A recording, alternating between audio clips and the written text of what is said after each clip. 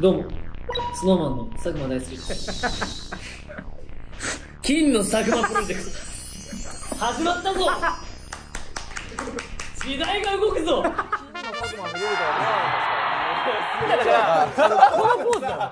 スマホ首やってよ。スマホ首じゃん。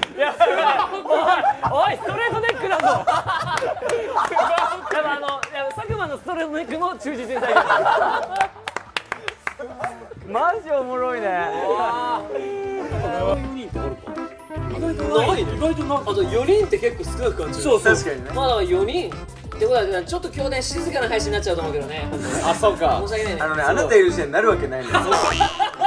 マジ でサムネからうるさいじゃん。こ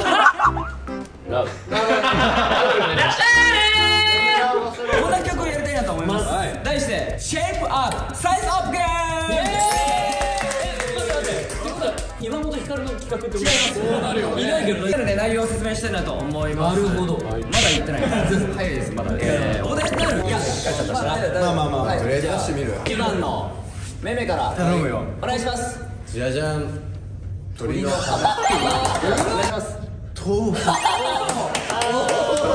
なるほど ABCG 戸塚賞あー確かに豆腐より戸塚君の方が大きいよね調整しました。はい。東大寺何大門。結構でかいね。でかいね。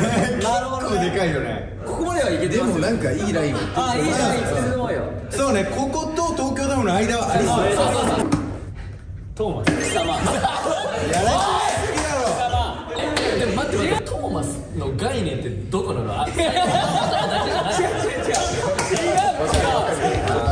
この一番このメンツの中で大きいものを書かなくちゃいけないっていうところでトーマスやっぱちょっと弱いね。待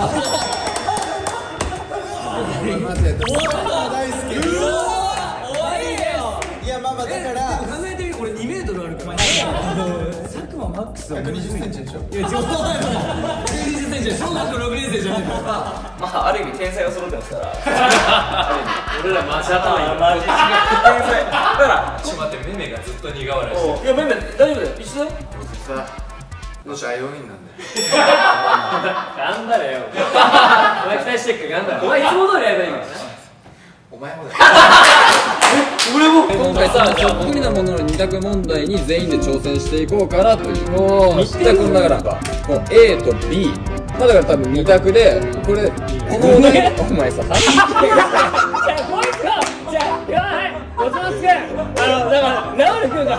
くるんです。いやまずは目で見て視覚でっていう問題が多分何個か来ると思う確かに俺たちは常に真実だけを見ていたいからねお願いします B 右がブラックコーヒあだってえあ俺もブラックコーヒーを選ぶブラックコーヒーを選ぶあじゃあ俺こっちだ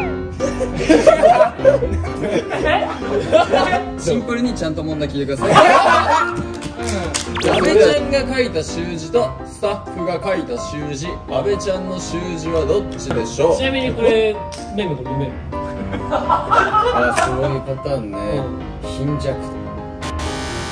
俺これわかる。いや俺とラウちゃん一斉ので言ってる。せーの。こんにゃく。えー、これ知ってるで問題はどっちが阿部ちゃん？ごめんね。どっちが阿部ちゃんかって。阿部が C3PO 声でかいな。